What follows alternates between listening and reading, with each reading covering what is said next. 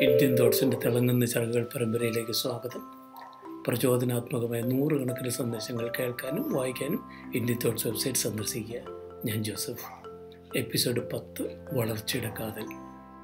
എന്തെങ്കിലും ചെയ്യുന്നതും എന്തെങ്കിലും സാധിക്കാൻ പരിശ്രമിക്കുന്നതും ഒന്നല്ല. ഇത് വിശദീകരിക്കാൻ ഒരു സന്യാസി പറഞ്ഞ കഥ ഞാൻ ഓർമ്മിക്കുന്നു.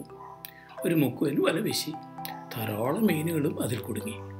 മുക്കുവൻ വല വലിച്ചു തുടങ്ങിയപ്പോൾ കുടുങ്ങിയിരിക്കുന്നുവെന്ന് എല്ലാ മത്സ്യങ്ങൾക്കും മനസ്സിലായി. അവർ സർവശക്തിയും പ്രയോഗിച്ച് കണ്ണികൾ പൊട്ടിക്കാൻ ശ്രമിച്ചു. വിഫലമാണെന്നറിഞ്ഞപ്പോൾ ആ ശ്രമം ഉപേക്ഷിക്കുകയും ചെയ്തു. അങ്ങനെ ഇരിക്കുമ്പോഴാണ് ഒരു ചെറു മത്സ്യം ഒരു കണ്ണിക്കിട്ട് തുടർച്ചയായി ഇടിച്ചുകൊണ്ടിരുന്ന എല്ലാവരും ശ്രദ്ധിച്ചത്. അല്പം പിന്നോട്ട് നീന്തിയിട്ട് അതിവേഗത്തിൽ വന്ന് ശക്തമായി ഒരു വലക്കണ്ണിയിൽ അത് ഇടിച്ചുകൊണ്ടിരുന്നു. എല്ലാ മത്സ്യങ്ങളും അതിനോട് വെറുതെ ചാകണ്ട എന്ന് ഉപദേശിക്കുകയും ചെയ്തുകൊണ്ടിരുന്നു. ഇതിനോടകം മുക്കുവൻ വല വലിച്ചു കയറ്റിയിരുന്നു.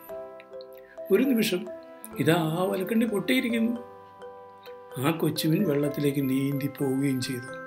വലിയ മത്സ്യങ്ങൾ നോക്കിയപ്പോൾ അവർക്ക് രക്ഷപ്പെടാൻ വേണ്ടത്ര വലിപ്പം അവിടെ ഉണ്ടായിരുന്നില്ല. സന്യാസി പറഞ്ഞു നിർത്തിയത് ഒരു കാര്യം ചെയ്യുന്നതും അതിനുവേണ്ടി പരിശ്രമിക്കുന്നതും രണ്ടാണെന്ന് പറഞ്ഞുകൊണ്ടാണ്. ആ കൊച്ചു മത്സ്യം രക്ഷപ്പെടാൻ അധ്വാനിക്കുകയും വലിയ മത്സ്യങ്ങൾ രക്ഷപ്പെടാൻ ശ്രമിക്കുകയുമായിരുന്നു. വളർച്ചയ്ക്ക് ചെയ്യാനുള്ള മനസ്സും സ്വയം വിലയിരുത്തി മുന്നോട്ട് പോകാനുള്ള ആർജവും വേണം. ഒരു ചെറുപ്പക്കാരൻ ടെലിഫോൺ ബൂത്തിൽ ചെന്ന് നഗരത്തിലെ ഒരു ധനാട്ടിയെ വീട്ടുടമയെ വിളിച്ചു മാഡം നിങ്ങളുടെ പൂന്തോട്ടം ശരിയാക്കുന്ന ജോലി എനിക്ക് തരുമോ?